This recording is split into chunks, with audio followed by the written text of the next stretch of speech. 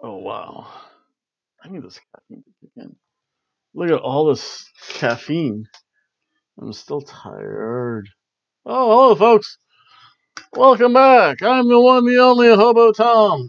And if I look a little bit run down, it's because I've been working, I think, for Thursday, Friday, Saturday, Monday, four days straight.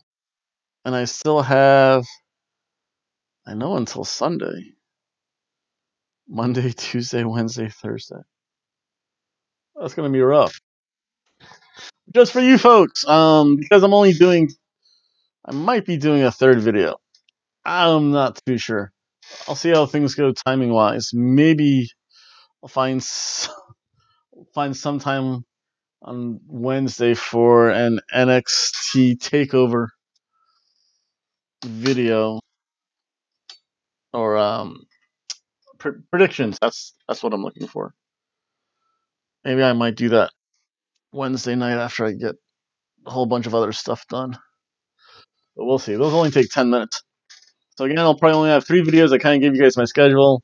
It'll be today, Monday, uh, maybe Wednesday, and hopefully Friday. Oh, depends how he go Friday. And then ne- next week it'll be a little bit more normal. At least it'll be Monday, which whichever I can catch, Impact, and or AEW, Friday SmackDown, and for you, my viewing audience, I'm gonna have a bonus feature. Let's show you about when Hobo Tom goes to the races. That should be interesting. But this mo- this video is not about races. This this this is this is supposed to be about wrestling. Wait a second. This video is about well, I'll get to that. Tranquilo. I do have some shoutouts to give. I'd like to thank everyone for seeing me on Discord and chatting with me. It's very much appreciated. Just remember, if I do catch you on Discord and you do kind of somewhat respond to me, or at least make a reference to any of any probably my more mundane comments I leave, you get a shout out. Also, hopefully, I think sometime in March, NXT is coming back into town. And you can see this guy, the one, the only Hobo Tom, here at Daytona Beach for the NXT event. Again, as always, I'll have my kind of recap and review of it. So, actually, let me open something up here. Let's see here. Where is it? So, so I actually somewhat know what, what I'm doing now. Let's see. No, not that. That's what I want. Then I have to start deleting stuff. Delete! Let's see here.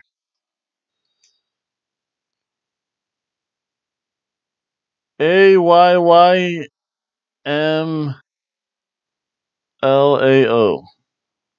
I think that's like an acronym for something. You get a six count.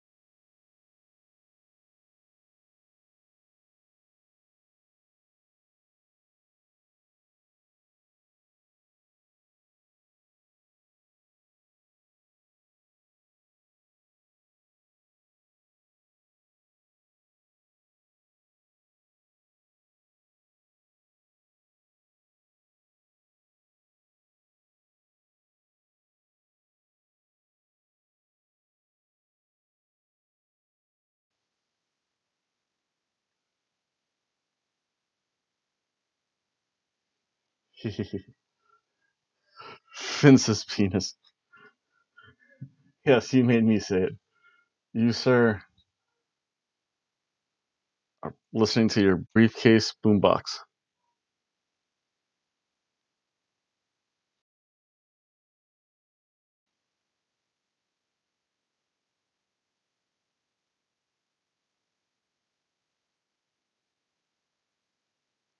And you know what, sir? With a name like mine, you can just crawl right out of here.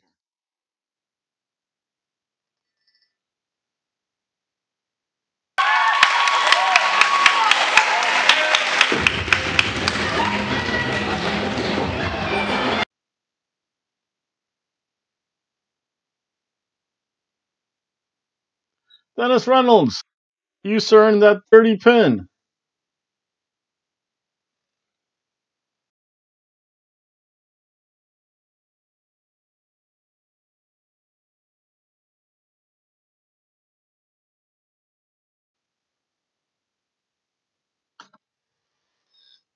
And Keating Fish, you, sir, are a member of the El Generico Band.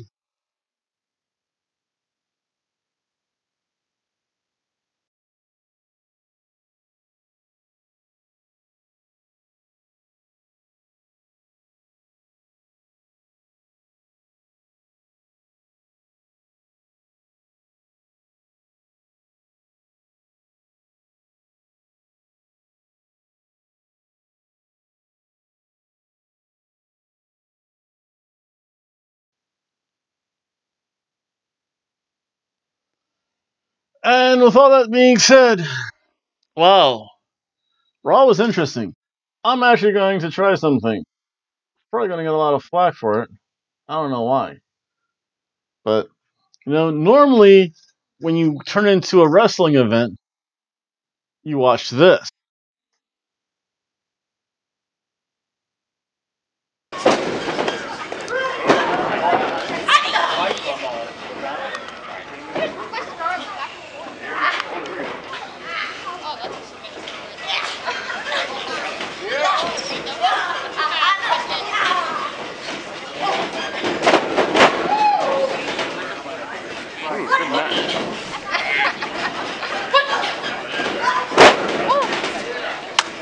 Oh!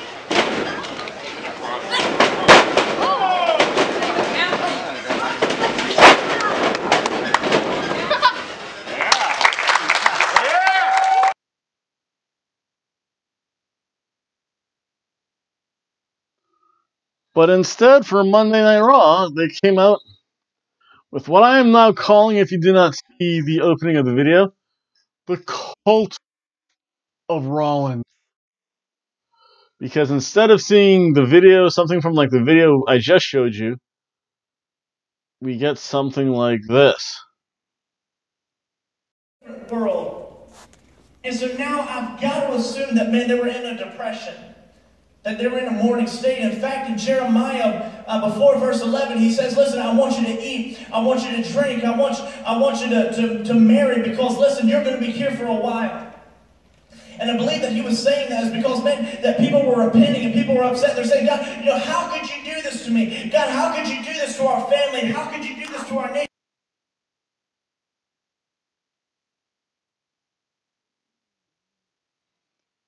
Yeah, not exactly what I was expecting.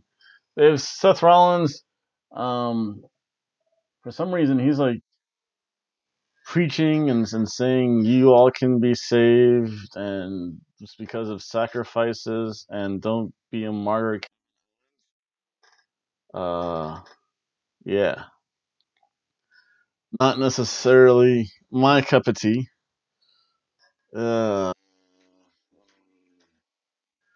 see things like this when I see this actually makes me want to tune out to wrestling for a while or watch just Impact, AEW, and SmackDown. Because SmackDown, even though a lot of people say bad stuff about it, at least they're they're not doing that.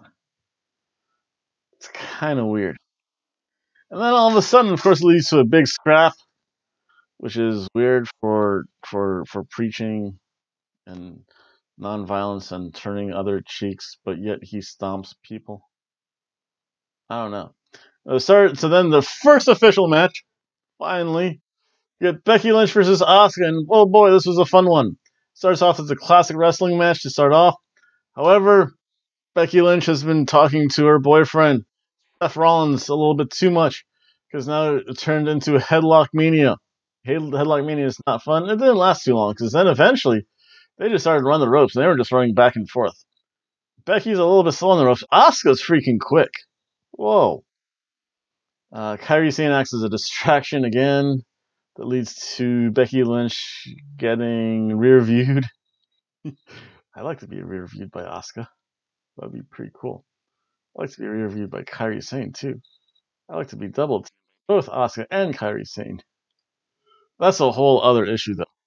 That that can wait for a few more weeks for Mardi Gras. Mardi Gras celebration.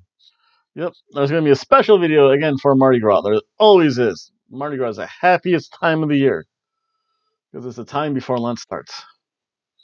But you get to whatever. Then you spend 40 days making up for it. And then Asuka, uh, Becky Lynch makes a brief comeback, but she gets the poor man's version of the GTS by Asuka onto Becky Lynch. Kairi gets involved. She gets splashed for her efforts. What was crazy doing all these bombs, and then Becky Lynch tries to put the disarm her on Asuka on the ropes, which is kind of cool looking. It's almost like the tarantula, but said disarm her using the ropes. I like that the creative use of the ring. And then, oh, Asuka got hit with that scorpion death drop. And of course, Asuka hit the superplex. Oh. And then Asuka went to a Katami, that's a straight armbar. Transitioned that into a triangle choke. And Becky tried to pick up for a power bomb. Becky Lynch has to work on her squats and her back muscle a little bit more though, because she not exactly got it up. She missed a leg drop. Asuka did a couple attempts at the Asuka lock and a bunch of roll ups. And it was some weird out of nowhere finish. It was just like the rock bottom. I hate to say it, Becky, you're no rock. Can you smell what Becky is cooking? It's probably cooking up cabbage and corned beef, a lot of potatoes, and having a pint to go with it. But so this match actually was really good. For the most part, I mean, once they got over Headlock Mania and said, well, we might as well have a wrestling match now, they could have done so much more so with the ending if they didn't waste time doing Headlock Mania. But still, though, this is a surf and turf match.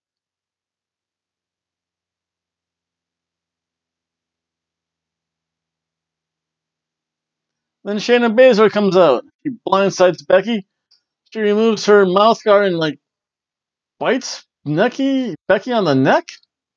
Wait a second. If I bit someone right along here, that's the jugular vein, the carotid artery. First of all, you're bleeding like a stuffed pig. Second of all, if you get to the carotid artery, you have like six seconds before you bleed out. I want to, and and feel free to correct me, any of those in the real medical field. I always thought it's about a six second bleed out if you if you cut if you sever the carotid artery. I think the jugular vein, eh, it's just an extra six seconds. 12 seconds, though. You're not going to be conscious. And those EMTs, if they're treating any neck slashes or open wounds on the neck, I would think they would like say, no, we have to stop the pressure. We have to hold you down and stop said pressure. Because honestly, it looked like that Shayna Baszler just took a bite out of a blood capsule and let it run all over Becky's neck, which is weird. Until Becky Lynch, that hot-blooded Irish woman, took the blade across her forehead and had a had a roughed up forehead. You can't. Her forehead's too smooth, baby. Uh, Becky Lynch's forehead the smooth as a baby's bottom. But maybe Seth likes them that way. Who knows what Seth likes? Seth be a preacher man now. So Seth's Messiah. Is Becky Lynch now the Virgin Rebecca? Indeed. Uh, then we have uh, Mojo Rawley taking uh, and Riddick Moss taking on the Street Profits. Street Profits they show up dancing. They start the match and whoa! Riddick Moss turns on Mojo Rawley. I don't even know when this happened. Like the Street Profits were still doing their antics about "We want the smoke, we want smoke." Next thing I know, Riddick Moss like clocked and then rolled up Mojo Rawley, and Riddick Moss really at the start of their match became the 24/7 champion. Whoa, Riddick Moss! Congratulations, sir! You've moved up in the world from NXT jobber to a 24 7 champion. At least they're doing something with that ridiculous title, and they're kind of moving around to people. Rick Moss has been around NXT for a long time. He probably deserved it. And that was a ham sandwich of a match.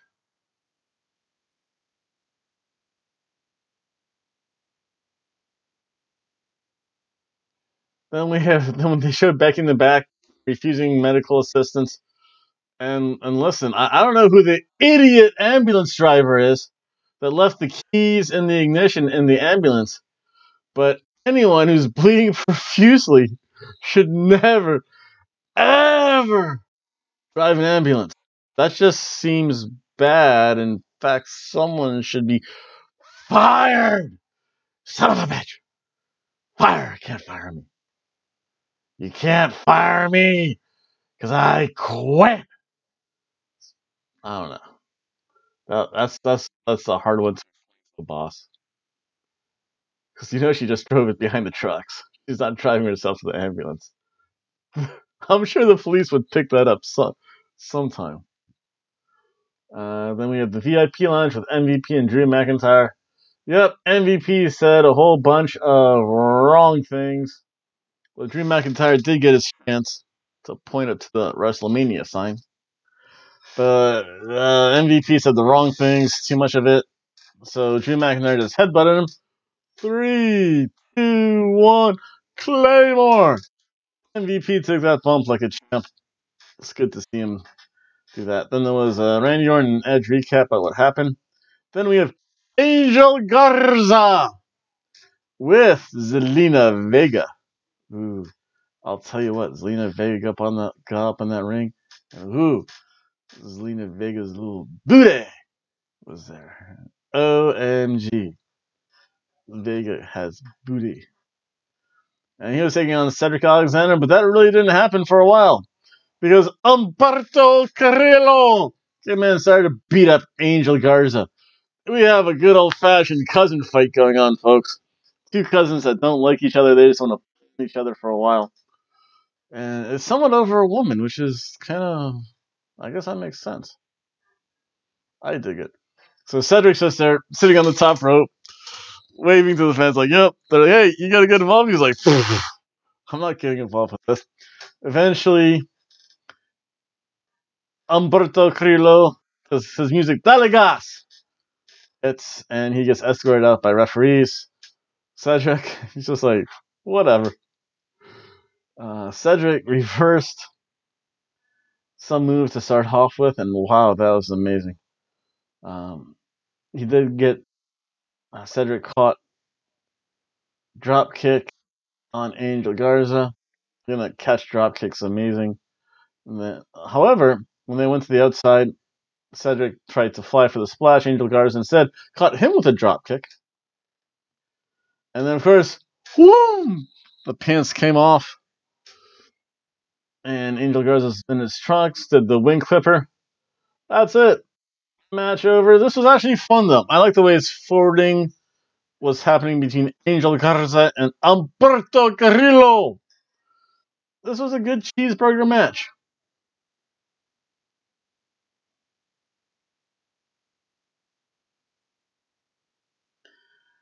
Then Rhea Ripley showed up for an interview. Yeah, it is what it was.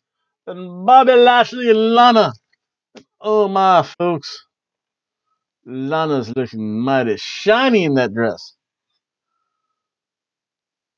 They give a quick little promo.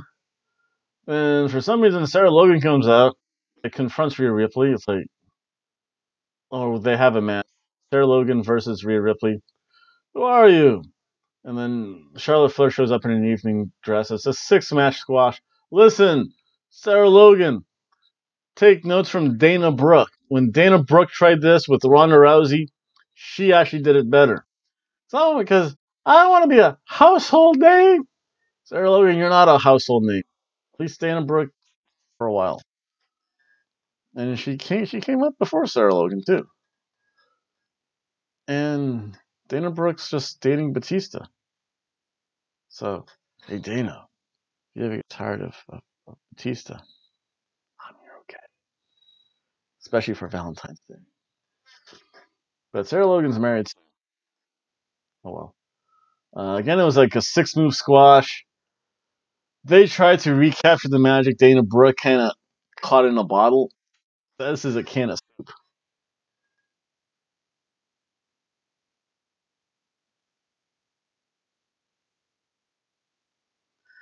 Then we have Bobby Lashley and Ricochet. And while Ricochet is doing his promo in the back, uh, you just hear the crowd chanting, Rusev Day, Rusev Day. And by the way, Lana wears white. Lana has to be very careful about the size of her shimmer dress. Because, yep, you can see all of Lana, baby. Baby, baby, baby, baby, baby, baby, baby. Come on. Um, and then Ricochet he goes right after Bobby Lashley, which is Bobby Lashley is again, for the most part, too powerful. Until Ricochet says, you know what, I am the faster individual. I'm going to start flying and running all over the place. And that's when Ricochet really takes control. And it seems like he's not doing as much flippy stuff as he did in Lucha Underground. I miss the Ricochet who was Prince Puma. I want Prince Puma Ricochet back. Because right now Ricochet's I even want NXT Ricochet or New Japan Ricochet. But Ricochet's really having to slow himself down for the WWE style. Although he does hit a whole bunch of combo moves. Ricochet first hit the reverse kick, then the rolling drop kick, a crossbody, and that led to the 630. Uh, oh, he misjudged that a little bit because he fell right on the pectorals and rib cage and chest of one Bobby Lashley. That could be very ugly. He did that 630. He landed right on those ribs instead of the tummy. Those ribs don't give, baby. Ribs break. Ouch. Yeah, this was really fun. It served its purpose. Ricochet gets the he he defended his uh mat his spot in the match against Brock Lesnar for the Super Showdown, which will be on the 27th, I think. So I might be able to give you a recap of that. Can't live can't live stream for like another month and a uh, yeah about a month and a half. Then I'll be back live, and then you'll hear me all over the place. So that was pretty cool. That was again a good cheeseburger match.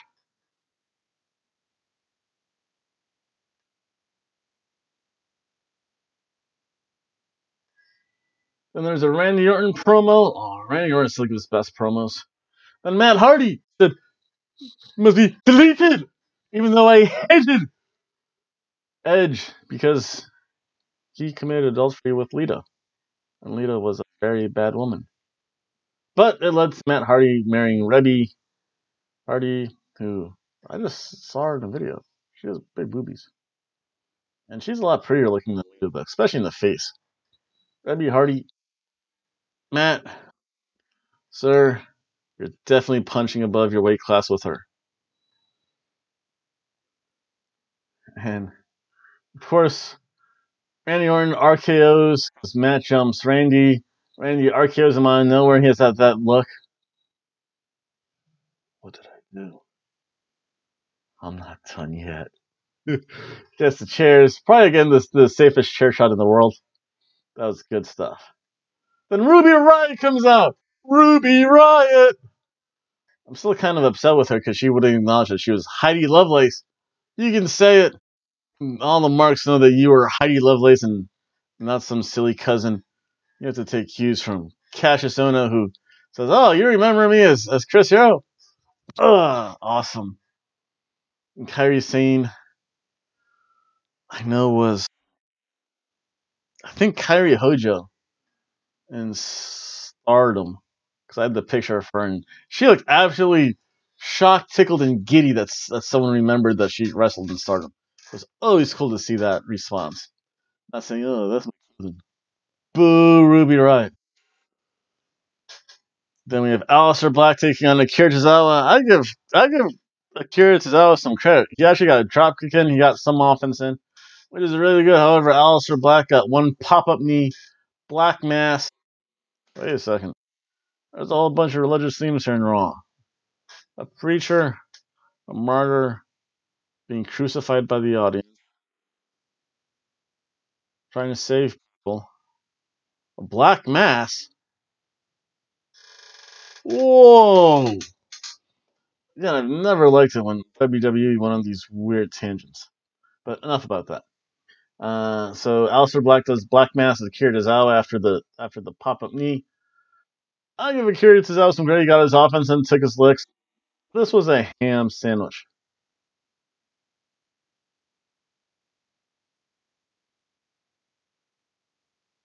Then Aleister Black cuts a promo. He mentioned the cage.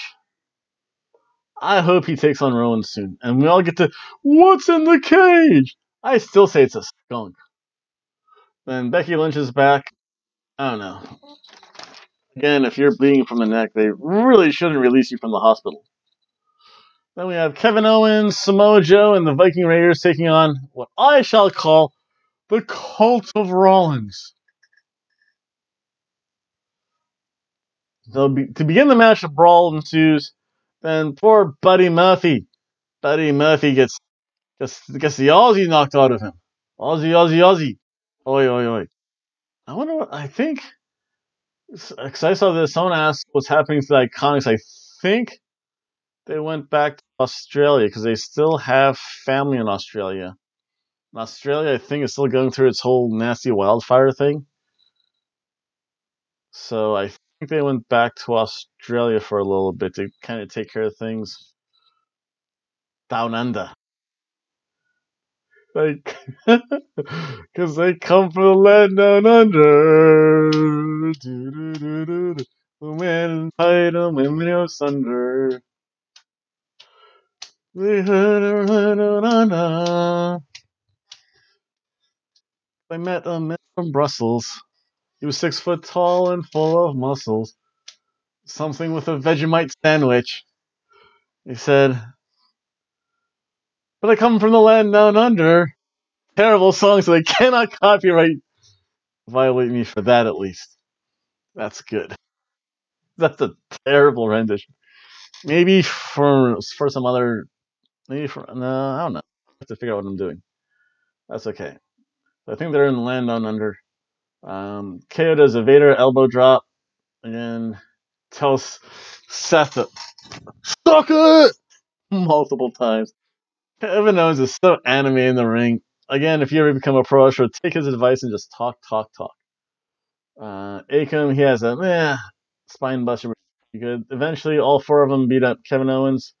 Samoa Joe gets a hot tag, and then becomes a typical spot fest for any eight man tag. Uh, Kevin Owens sentons on everyone. That leaves Samoa Joe in the ring with Seth Rollins and Buddy Murphy. Seth makes the uh, Murphy makes the blind tag, but Samoa Joe's smart. He saw that, puts the coquina clutch onto Murphy. Murphy's about ready to pass out. Uh, Akam and Rezar distract the refs. Seth stomps Samoa Joe, and Buddy Murphy picks up the win at Seth's Seth's help. And that was and that was a fun match. That was a good cheeseburger match.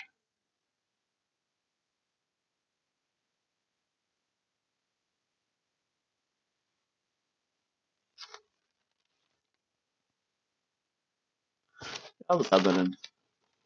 Um, that was Monday Night Raw. Again, I don't like the fact that they're doing all these weird angles. I don't think I liked that before, and don't necessarily like it now. So overall, it was a cheeseburger of a show.